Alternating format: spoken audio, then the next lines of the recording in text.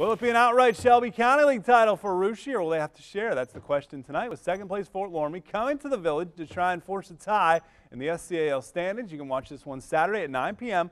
on WOSN. Anna also hoping to share the title tonight. The Raiders, Jack DePore takes and makes the three.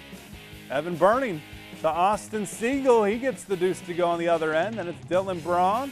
Baseline jumper. He'll take it and he'll make it. Skins up early in the first. Then watch the backdoor cut as Braun makes the lay in. Good fundamental basketball. It's the Braun show as he gets the steal.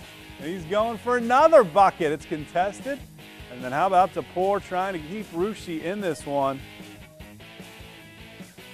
But it's too much from the visitor. Fort Loramie gets the win tonight. That means a three-way tie for the title as Anna beats Botkins.